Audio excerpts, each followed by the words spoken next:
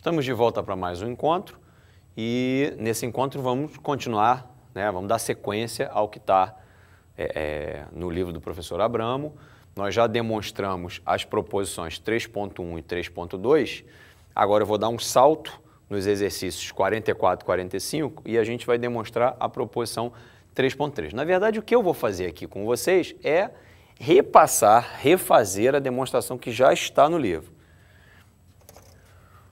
Mais importante do que mostrar essa, fazer a demonstração com vocês, vai ser a discussão que vem depois, né, enfraquecendo uma das hipóteses.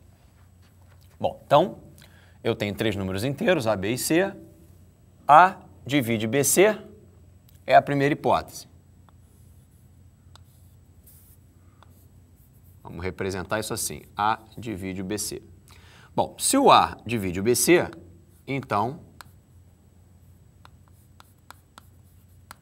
existe um número inteiro que no livro o professor Abramo chamou de E, tal que A vezes E igual a BC. Isso, consequência aqui da primeira hipótese, A divide BC. A segunda hipótese diz que A e B são primos entre si, ou seja, o MDC de A e B é 1.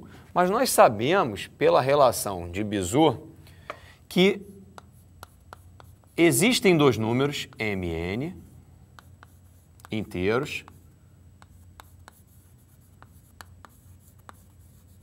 tais que A vezes o M mais B vezes o N é igual ao MDC de A e B, que no nosso caso aqui é 1.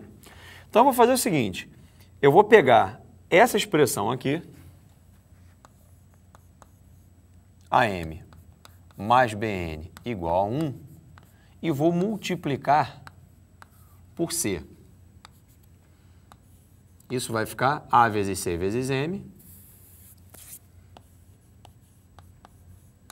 mais B vezes C vezes N igual a C. Só que, da primeira hipótese, eu sei que BC é igual a E. Então, vou promover uma troca aqui. Ó. No lugar desse BC, eu vou colocar a E. Então, ficaremos com A vezes C vezes M, mais A vezes E vezes N, igual a C. Nota que o A aparece nas duas parcelas dessa soma. Então, eu posso botar o A em evidência. E isso fica dessa forma. O que já é suficiente para provar que o A divide o C. E, aliás, o resultado dessa divisão está aqui dentro do parênteses. Bom, então, apresentamos aí a demonstração que está no livro. Agora, vamos tentar enfraquecer uma dessas hipóteses é, imaginemos que essa hipótese aqui, ó, de que A e B são primos entre si, fosse trocada por uma outra hipótese mais fraca.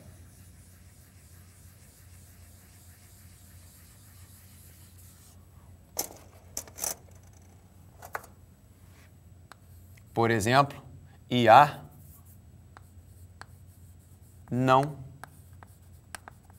divide o B. Será que com essa hipótese mais fraca eu continuo concluindo que o A divide o C? Vamos ver. Para isso, eu tenho, vem para o lado de cá, eu tenho um exemplinho. O A, vamos imaginar o A como sendo C, 6, o B valendo 4 e o C valendo 9. Quais eram as hipóteses lá da nossa proposição? Três números inteiros Aqui estão, A, B e C. Depois, que o A divide o produto BC, de fato, o A está dividindo o produto BC, porque o 6 divide o 36. A outra hipótese diz que o A não divide o B, de fato, ele não está dividindo B. E a conclusão é de que o A divide o C, mas isso é mentira. Então, qual é a nossa conclusão? que não adianta enfraquecer aquela hipótese. Ou seja, em outras palavras, essa proposição só vale, né, o que faz essa proposição de fato valer, é o fato do A e do B serem primos entre si. Se o A e o B não forem primos entre si, está aqui um exemplo que mostra que a nossa conclusão fura, que a proposição fura. Então é fundamental que o A e o B sejam primos entre si.